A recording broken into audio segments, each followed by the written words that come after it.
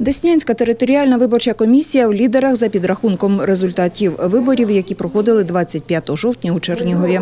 Хоча саме в цьому районі сконцентрована найбільша кількість виборчих дільниць, а саме 78, всі протоколи з дільничних комісій тут вже опрацьовані.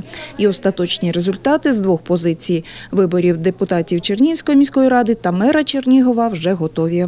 Дані екзитполів підтвердилися. Лідирує Олександр Соколов. Кількість виборчих бюлетенів для голосування в територіальному виборчому окрузі одержаних дільничною виборчою комісією 140 тисяч 119. Кількість виборців, які взяли участь у голосуванні 59 тисяч 843. Кількість виборчих бюлетенів, визнаних недійсними 1456. Олександр Соколов 35,24.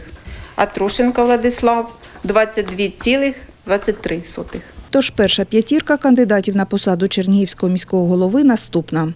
Олександр Соколов – 35,23%, Владислав Атрошенко – 22,23%, Володимир Зуб – 12,3%, Микола Миргородський – 10,94%, Ігор Андрійченко – 5,86%. У другий тур виходять Соколов та Атрошенко. Попередня дата виборів – 15 листопада. А щодо голосування за депутатів Чернігівської міської ради, рейтинг політичних сил у Деснянському районі наступний.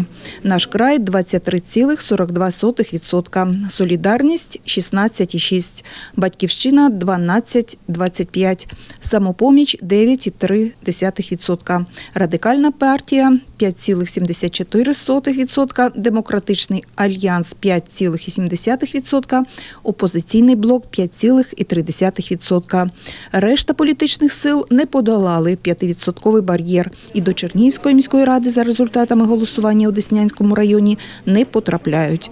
Результати виборів до Деснянської у місті Чернігові ради в комісії визначать вже сьогодні ввечері.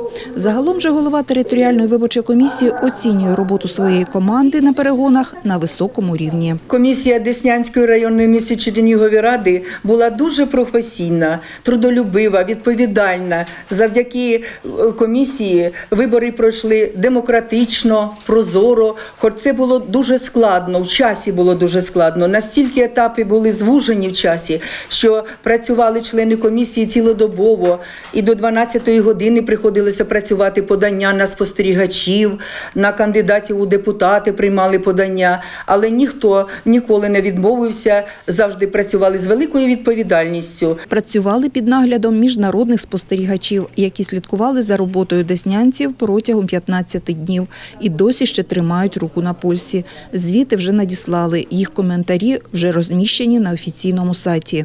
Тож перший етап перегонів Деснянська територіальна виборча комісія пройшла успішно. Але, як кажуть її члени, фінансування їх цілодобової роботи бажає кращого. Виділений кошторис, а це півтора мільйони гривень, не дозволяє виплатити членам комісії навіть преміальних.